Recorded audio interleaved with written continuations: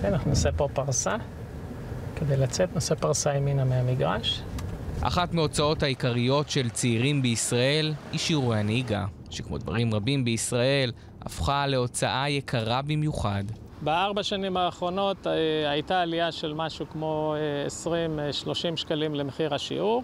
משנה לשנה מחירם של שיעורי הנהיגה ממשיך לטפס, ואף שמחירי הדלק יורדים לפעמים, מחירי שיעורי הנהיגה רק עולים. מחיר הרכבים שלנו עלה, ההוצאות של הביטוחים עלו, ההוצאות של החזקת הרכב, טיפולים ותיקונים עלו.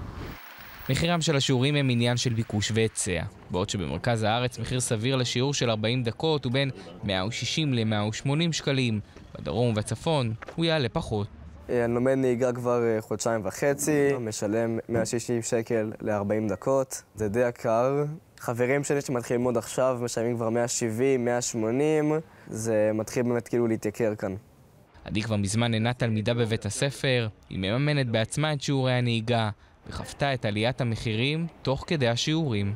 כשחיפשתי מורה נהיגה בהתחלה, המחירים היו 150 שקלים לשיעור של 40 דקות או יותר מזה. אחרי כמה שיעורים, העלו לי בעצם את השיעורים ל-170.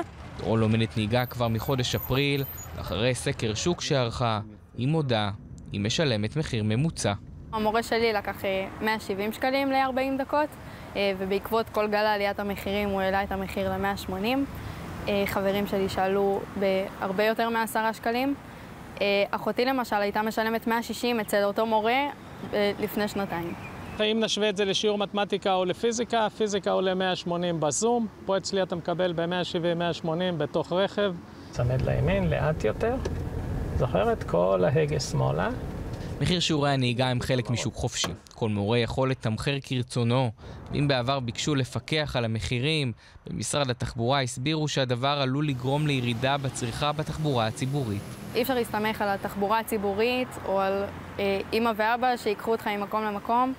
אה, ואתה כיום אתה חייב רכב פשוט בשביל להצליח להתנייד. נער ממוצע היום יצטרך לעבוד יותר משש שעות לכל שיעור נהיגה. בקיצור, הנוער אומר די, נחנקנו. 6,000 שקל לשיעורי נהיגה, מאות שקלים לאגרות מיותרות, זה מוגזם. בקצב האינפלציה הנוכחי נראה ששיעורי הנהיגה רק ילכו ויעלו.